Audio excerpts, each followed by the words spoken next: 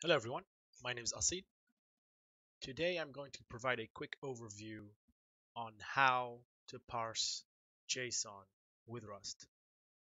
So you may or may not have heard about Rust before. Um, in simple terms, it's a up-and-coming programming language built with efficiency and safety in mind. So high performance and highly safe code. Um, so th in this video, I'm just going to jump ahead. I am not going to show you how to install Rust step by step, though it is a fairly straightforward process. Just go to the Rust homepage, rustlang.org here, and um, visit the install page. And there are straightforward steps on how to install it for different operating systems. So once you've done this, you will you should have both Rust, the compiler, and Cargo, which is Rust's official package manager, installed on your computer. Once both of these are installed, you should be able to go ahead and follow along with these steps. All right. All right. So on the left uh, of this screen, I have two terminal windows. Uh, they're all both in the same directory. So I just have created this Git repository Rust JSON example. And the first step uh, is I want we need to create a cargo uh, project. So assuming you have cargo installed, you can do cargo init. Hit enter, and it creates a binary package, which is what we want. You can also create a library by passing in dash dash lib, like so. Okay, so if we look at our directory structure now, it has created a few things for us. Um, I had the README here already, so don't mind that. But it creates a cargo.toml file and it sets up a source directory, which is where our Rust code goes. So if we look at the cargo toml file, it's pretty simple. Um, it has a section that defines kind of package information, the name of the package, or in Rust terms, we call it a crate. The version, you know, authors and the edition, um, and just general stuff. And this is the crucial part. This dependencies section this is where we're going to list any dependencies we require um, in this program, or we, are going to add uh, two. Okay, so let me quit out of that. Um, so now we have a new crate set up. Uh, we can go ahead and install the JSON parsing library we're going to be using in this video. And uh, going back to the browser here on the right, I have this page open uh, for the serde JSON uh, library. And so, um, long story short, serde is a extremely powerful parsing library slash infrastructure uh, that's used all throughout Rust. And one part of that infrastructure, or this JSON library maintained maintained by the serde folks, builds upon that and allows you to use serde to parse JSON. Okay. So we scroll down a bit, it says, you know what, this is how you set the dependencies. So we'll just copy that. We go to our cargo toml, go down here, you know, we paste uh, this in, save that and quit. So now this is what my cargo toml looks like, right? And then we just do a cargo build. And cargo build, what it does is it first figures out which dependencies are not uh, have not been pulled yet. It pulls them. It then builds them. And then finally once all of your dependencies are built it builds it builds your source code. Okay? So that that was fairly quick. So um, now we have serde json installed. Okay? We haven't started using it yet but it's there. Um, so if we go and look at the main file that was automatically created for us it's fairly bare bones you just have a main function it prints hello world so let's just uh, go ahead and run that. So it runs it for us. Hello world. Great. Okay. Everything looks good. Okay. So going back to the serde JSON page, um, it tells us, you know what, this is what JSON looks like. Cool. And then it gives us an example here. So this is an example. Um, the key point to understand is that serde JSON provides you with two ways to parse JSON. Okay. The first way is untyped JSON. So what you pass in is you pass in your um, JSON object, right? You parse that as a value, a JSON value in, in, in the library's terms. And then you simply access values by key, just like you would do in most other languages, you know, Python, JavaScript, uh, etc. So this we're going to try this approach first. The second approach is strongly typed. And this is similar to approaches used in Scala, for example, if you ever used the Scala uh, uh, JSON libraries. And I'm sure other languages have a similar uh, approach too. And this is kind of the more recommended approach for uh, to write more maintainable, I would say, uh, JSON parsers, decoders, and encoders. Okay, so let's start off with the untyped example. So what I'm going to do is I'm going to open up the main file we had earlier. I'm going to uh, clear out whatever we had, uh, save that, and then I'm just going to copy this entire thing and paste it over here. Really simple. Okay, so just walk through it. We have a function. Uh, we have it returns a result. Um, creates some data, a JSON string, just a raw JSON string here, parses it, and then tries to extract some values.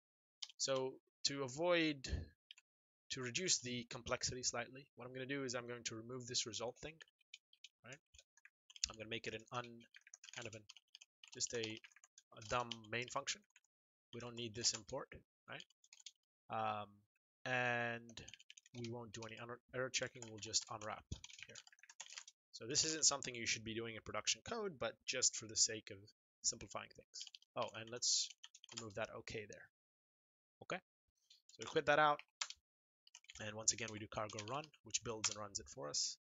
And voila, prints out, you know, the name, John Doe, and the correct number. Okay, so we have that working. So let's, you know, toy around with it a bit. Uh, let's add a new field, and we'll call it uh, address. Let's say, let's say uh, one two three Baker Street. Uh, we write that, and then we'll just modify our print statement um, to add uh, who lives at who lives at add a format specify there and we just need to print out the address. Okay. So that's good. Let's try to run that. Build and run. And again everything looks good. You know he lives at 123 Baker Street. Amazing. Okay um so how about we try to uh, let's assume that we made a mistake. Right? Instead of specifying address uh, up in our JSON here, uh, we made it, we called it, or let's keep an address over there. And uh, um, here we try to extract a adder. I don't know, for example, right? Let's build this. Builds absolutely fine. Okay, because this is the issue with the untyped approach. Because the compiler really doesn't know. All you gave it is a string key, and it can only accept that. There really is no way to tie that to the actual JSON schema you're expecting. And so your code will build, you try to run it, and we get some weird null value, which is mm, not good. Okay, so if you change your schema, you need to make sure to update all the call sites, all the areas where you extract using the key where you extract the value. Okay, so that's not a good sign. Uh, it doesn't point to a very maintainable approach, uh, especially once you have a lot of JSON parsing and decoding and so on. so this brings us to the second approach. The second approach serde JSON exposes is strongly typed data structures. Okay? So for strongly typed data structures, it says you can use this example. So let's copy it out. Actually, let's just copy out this part. Copy that out. We will just replace the previous body here, um, right? And we'll also need this stuff. So let's paste that in. and we will need these, well, just this import. Should be able to, um, oops, should be able to get rid of the other import because we don't need use value anymore. Okay, so let's walk through this code. So forget about this for a second. Same idea, we define our raw JSON string here, the input, and then we use the same function we used earlier, the from str function.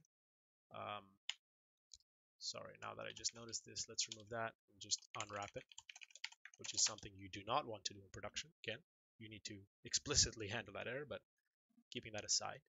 Um, we call the same function, but instead of specifying the type as value, we specify the type as person. Okay, so what is a person? Well, we go up here. It's a custom type.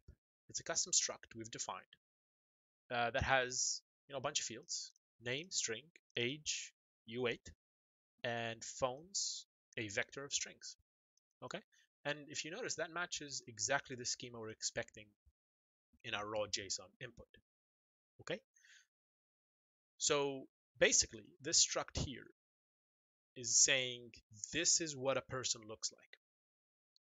This allows the Rust compiler to be able to map and tell you, okay, wait, you said you're expecting a name, but you're trying to access, for example, a last name. At compile time, your code will simply not compile as your schema changes. So as long as you keep your uh, your uh, your schema, quote unquote schema, or basically your struct definition up to date, your JSON will parse fine. Now there's a special, some special code here, if you notice. We mark, we need to mark the struct as being serializable and or deserializable. What does that mean? When we mark a struct with serialize, what we're saying is we're implementing um, JSON serialization. That is converting this struct into raw JSON.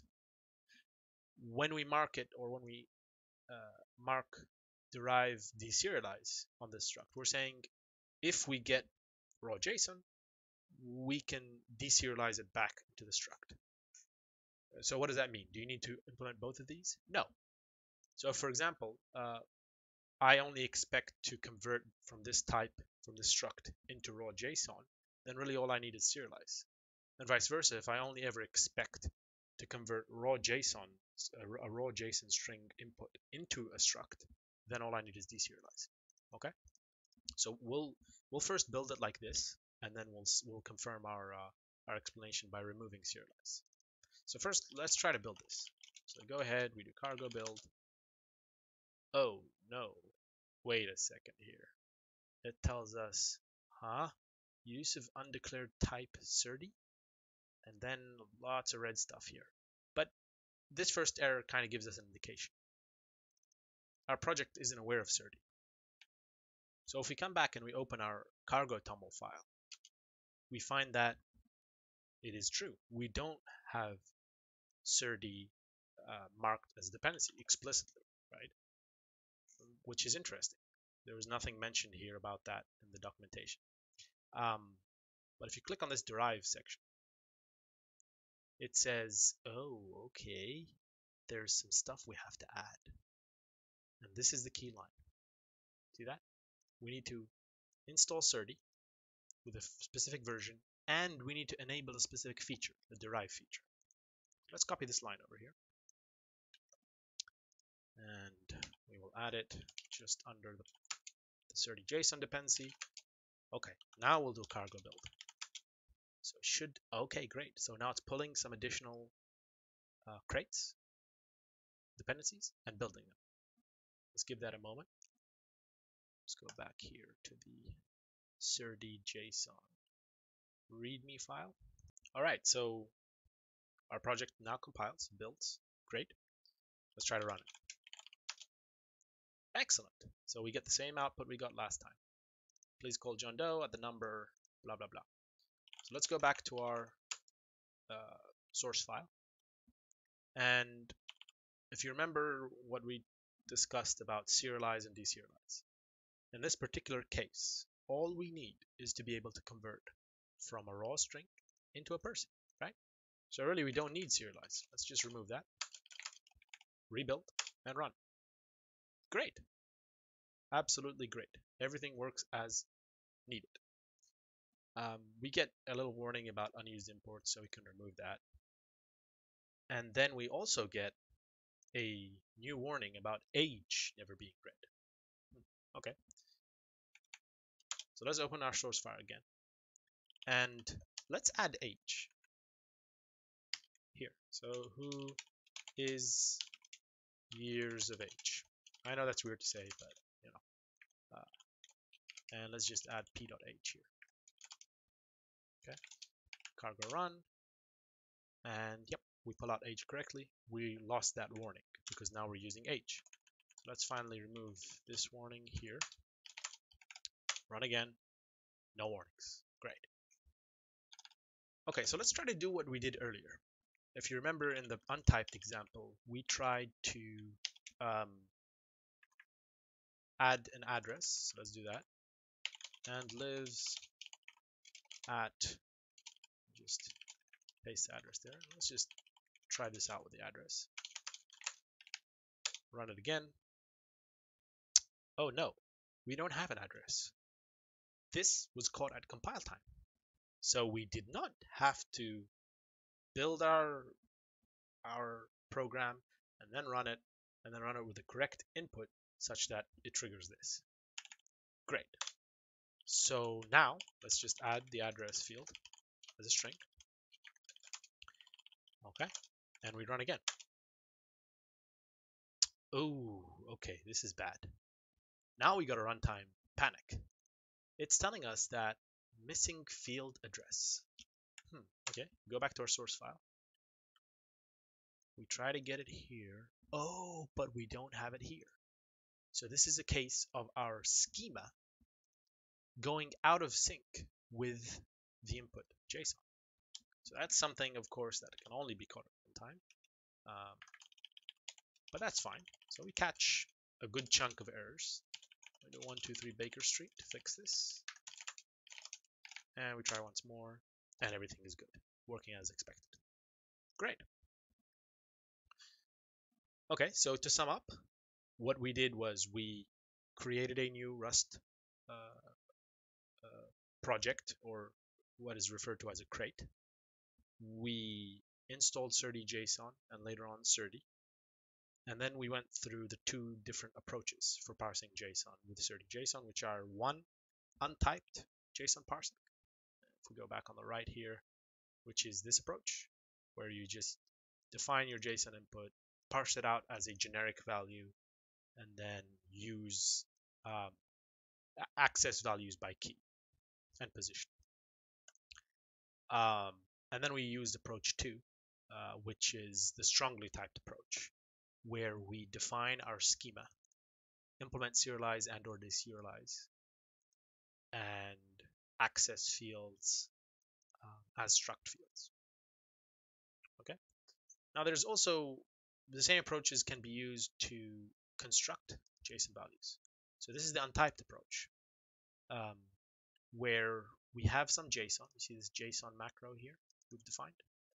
So it's just some magic happening under the hood to convert it into a value. And then all you just do is, you know, toString. just serializes it as a string. Okay. Um, with the typed approach, it's pretty much the same. You define your address structure. Right? This is our structure here. And now we want to convert it into uh, raw JSON. So we just call this special toString function. We pass in a reference to the address, and that gives us a string output. The next video, uh, the plan is I will go work through writing a, uh, a an application that uses serde-json to implement a, an HTTP client that talks to an API and then parses the result. So that should give you a more interesting example of where you would apply or use JSON uh, in a Rust uh, application. Thank you for watching and uh, stay tuned for more.